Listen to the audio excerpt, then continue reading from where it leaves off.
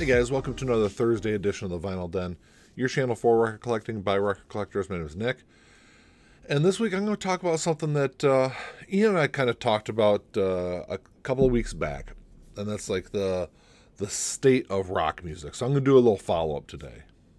So if you haven't done so yet, make sure you click on the link down below and go check out our Facebook group. Also, make sure you give the episode the old thumbs up there and uh, subscribe to the channel if you haven't done so yet. Uh, today, I'm going to be talking about three albums, two that are, you know, from unconventional musicians or unconventional rock musicians, and the third, I guess, is kind of unconventional also if you look at like the history of rock music. But um, so I'm going to talk talk about three albums that maybe could kind of pave the way for a resurgence as far as like mainstream rock goes.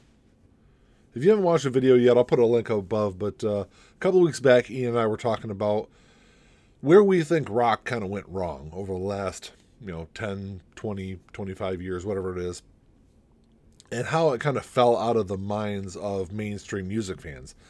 I mean, I know a lot of people hate the uh, the award shows nowadays, but if you go look at those award shows, those rock categories are normally like the pre-show uh, awards handed out or are handed out during commercials. You know, it's just uh, it, it's interesting to see how far uh, down the totem pole that rock music has fallen over the last you know decade or two, and uh, that's kind of what the whole episode was about. Is it was about you know where it went wrong and what might what, what it could do possibly in the future to kind of regain some of its market share.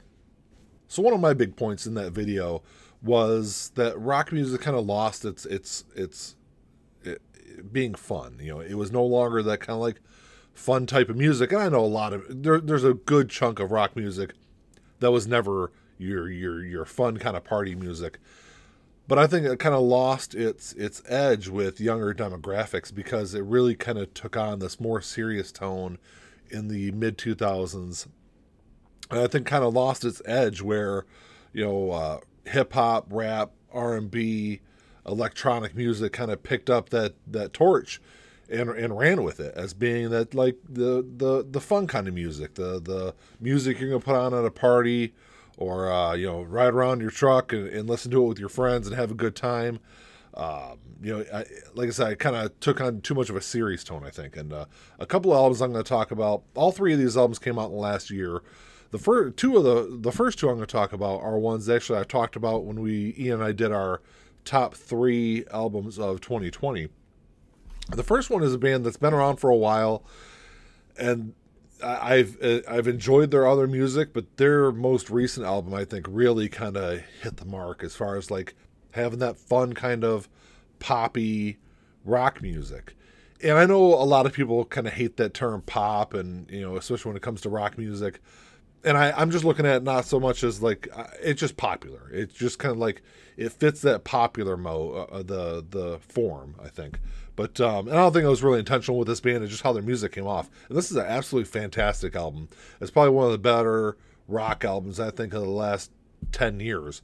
And that's uh, "Death in Venice Beach" by the the Bomb Pops. And this is kind of an unconventional kind of band. Um, you know, a female punk band is not something you come across all the time.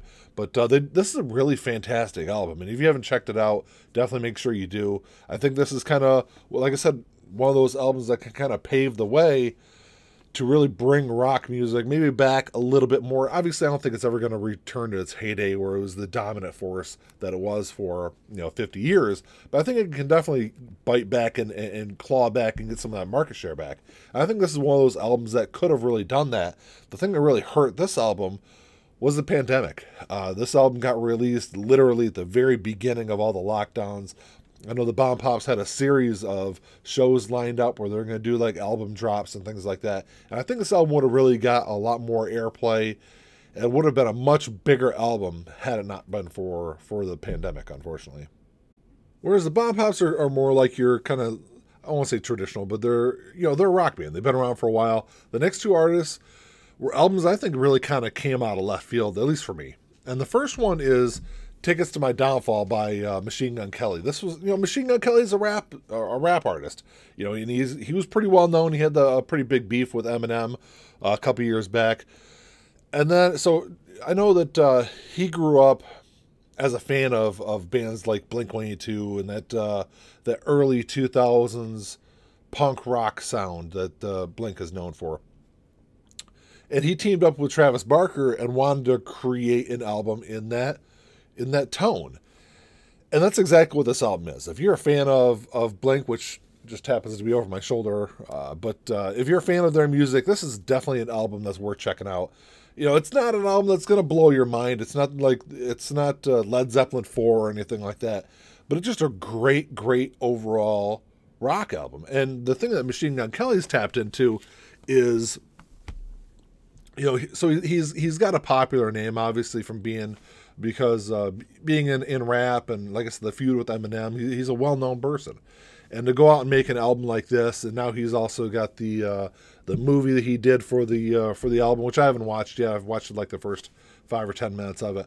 You know, so there, there's other avenues he's trying to go down to reach more people, and I think this is another album that, you know, had we not had a pandemic going, a worldwide pandemic over the last year, I think this is an album that, even though this reached number one on the Billboard charts and, you know, is still in the top 30, you know, several months later after it was released, it's it's an album that could have been a lot bigger had he been able to properly tour and do the a lot of the PR and things like that that that goes along with making an album.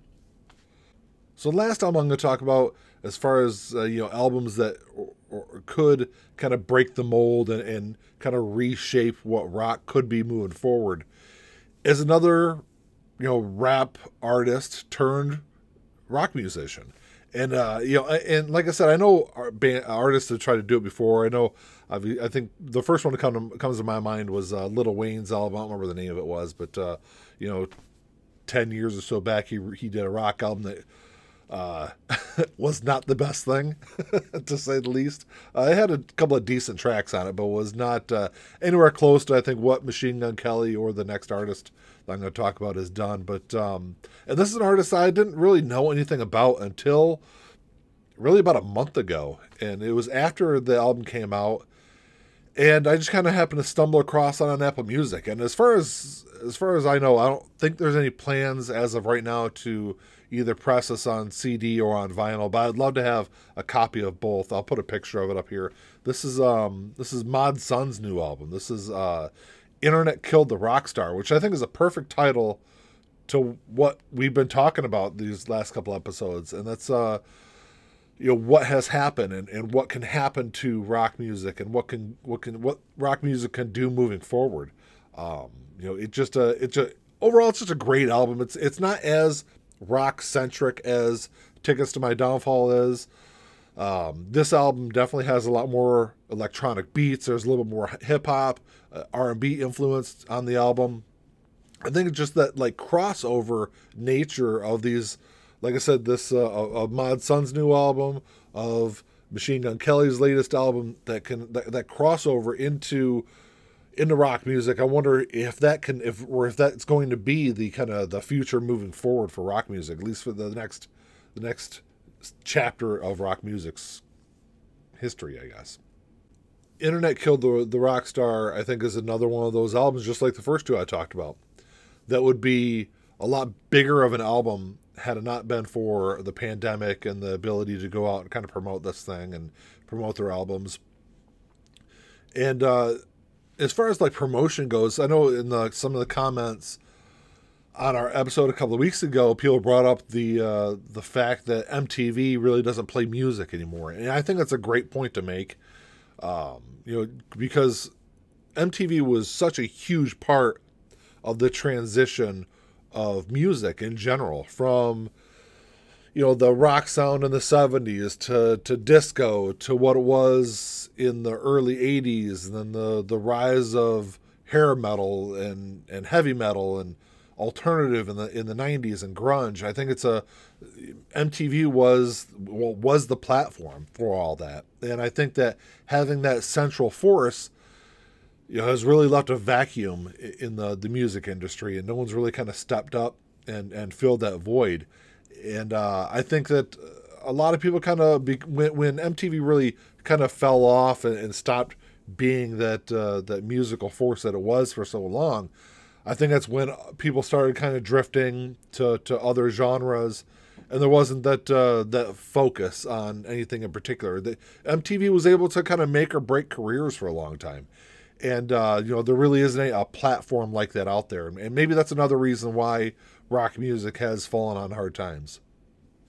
I know, that's all I got for you today, guys. Uh, drop me a comment down below and let me know what you guys think. If you have checked out any of these albums or what you think about rock music in in general. I know it's uh it's a genre that I really enjoy, but you know, like a lot of other people, I've drifted off to other things over the last you know ten or, or fifteen years. I I for a long time that's really all I kind of listened to was rock music, and I I've definitely diversified my my music listening uh, over the last I'd say five years in particular.